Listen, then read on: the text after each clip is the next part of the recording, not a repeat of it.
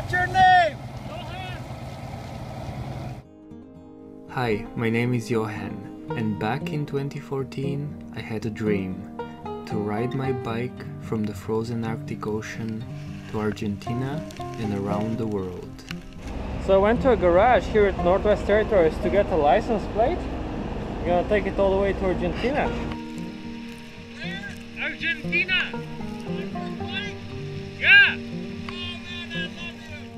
Five years later, I'm still going. ¿Con ese dónde va? Colombia! Eh, ¿Con este? Sí! ¿Con esto solo? Sí. ¿Y de qué parte viene usted? Yo estoy andando con la bici de Alaska, del Océano Ártico, en Norteamérica. Alaska. Sí. I rode across Alaska, from its tallest mountains to the remote north slope of the Brooks Range, and south through British Columbia. I followed the Continental Divide across the United States, from Montana to Wyoming and straight into the winter.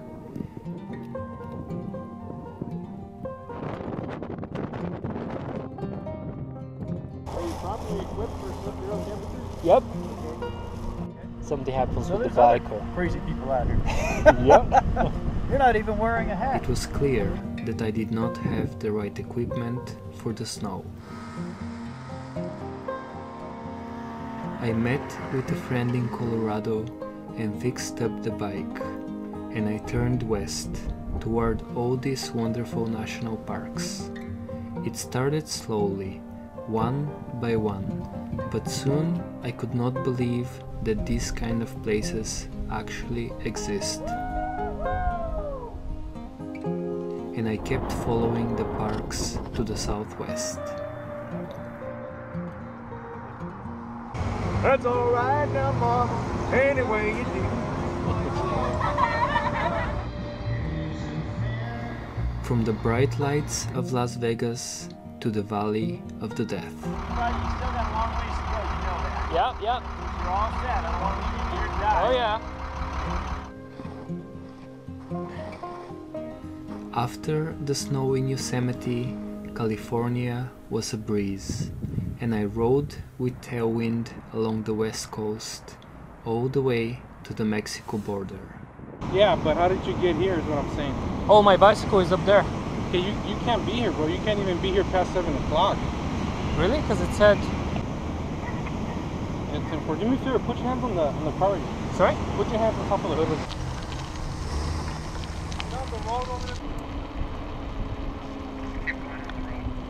I started learning Spanish in Mexico and went down into the deepest canyons and the highest mountains.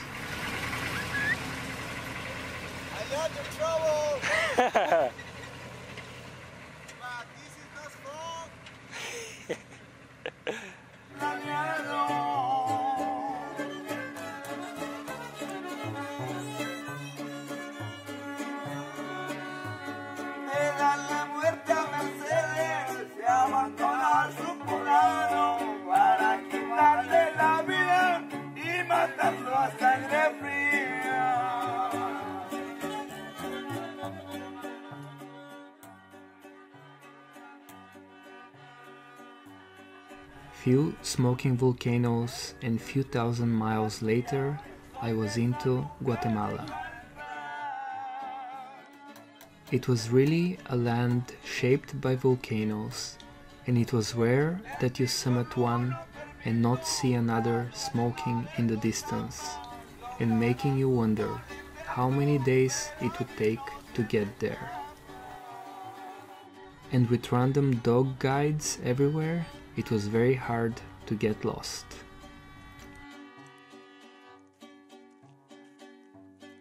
As El Salvador was less safe, the only way to get to a volcano was with a lot of company.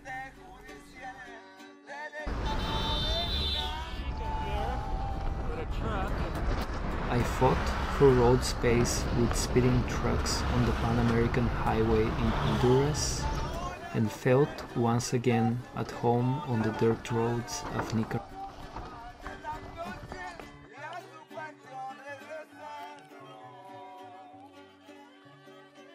In Costa Rica, I rode the Nicoya Peninsula and had to defend my camp against the cows. There's like 1, 2, 3, 4, 5, 6, 7, 8, 9, 10, like 20 cows. Hey, get out of here, all of you. Piss off. Hey, move it. Nothing to see here. Go away.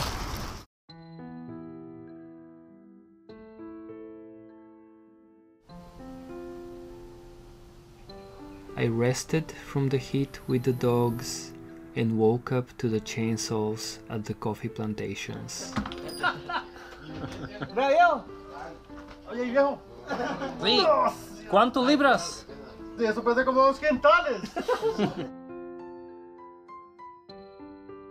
Panama, being the end or midpoint for so many, turned out to be an amazing ride. Oh boy. Is this the road or a river? Ta-da! It's the road! Whether it was the unreasonable road engineering or the monster trucks that roam these routes, it was one of the highlights of Central America.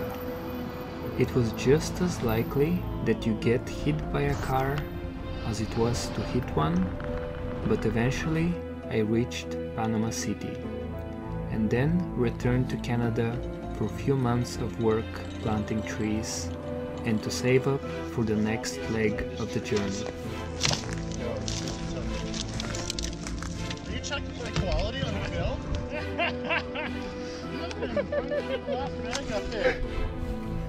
I purchased a packraft to cross the Darien Gap, but I wanted to learn using it before going down south.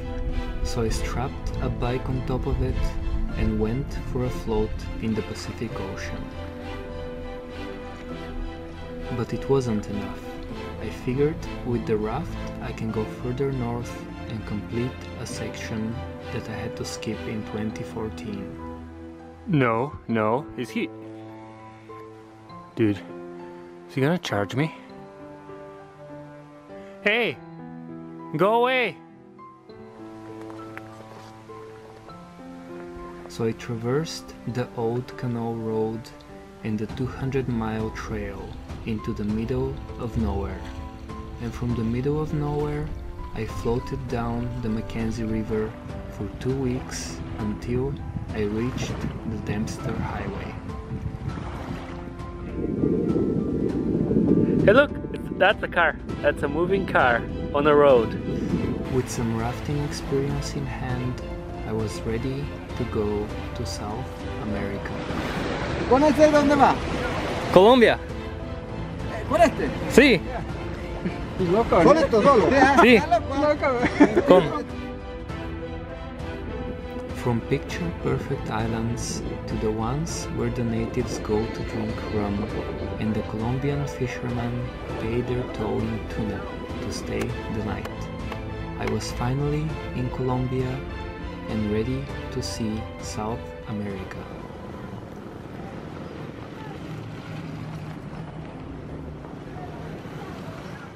I rode through the lowlands and the mountains through Medellin and to the valley of Cauca, where I had an odd invitation to attend a travel festival in Dubai.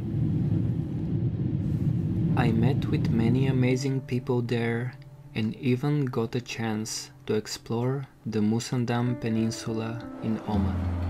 And although I made it in time to the return flight to Colombia, the connection in Spain did not work, and I was stuck there for 20 days.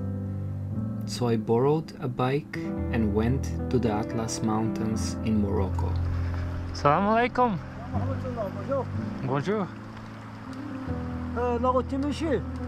Imichi, Imichi. Euh, est monsieur. Eh? On est la route. Non, non, No. la route.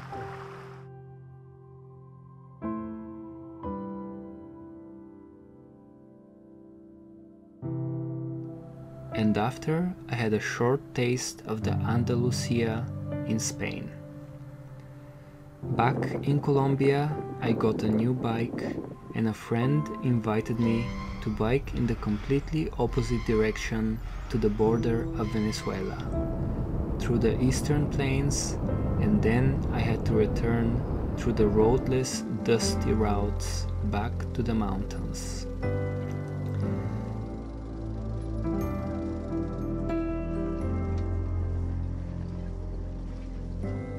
With the rain season came the beauty of the Paramo and the never ending dream of finding sunshine in the rain.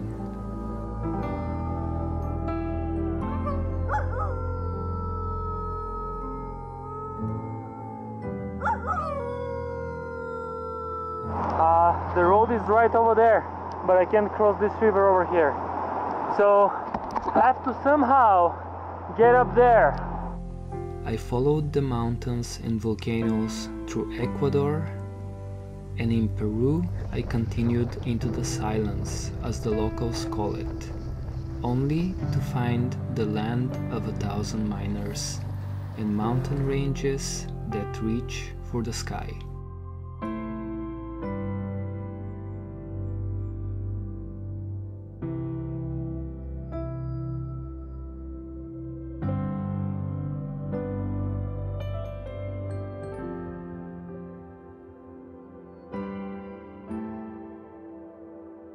In Bolivia, the rain continued through some of the most remote passes, and I was southbound through the endless salars and toward the Martian landscapes to the southwest.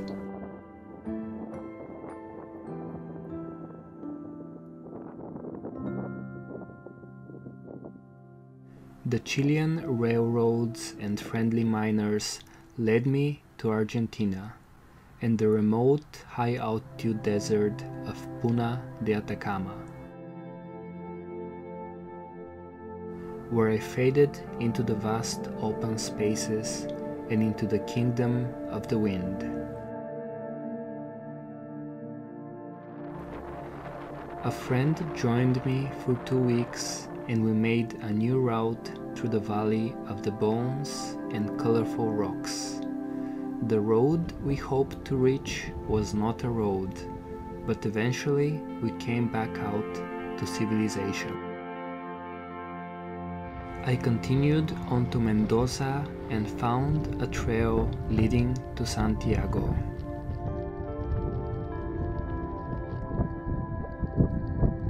They do float, kind of.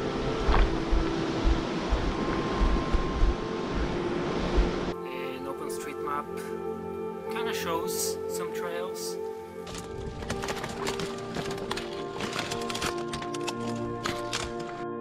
And then I went south to where the sunsets are the brightest and where the condors fly high above and the volcanoes have shaped the surroundings in the most remarkable ways.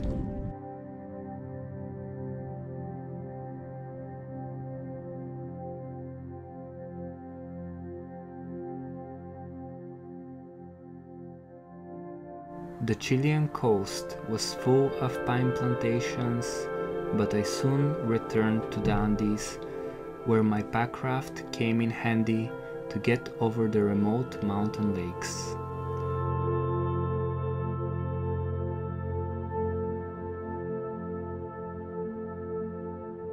And this is where I am, always looking for the next peak or volcano in the distance and getting ready for the winter in Patagonia. So on this channel you can find over 32 episodes trying to document the ride as best as I can.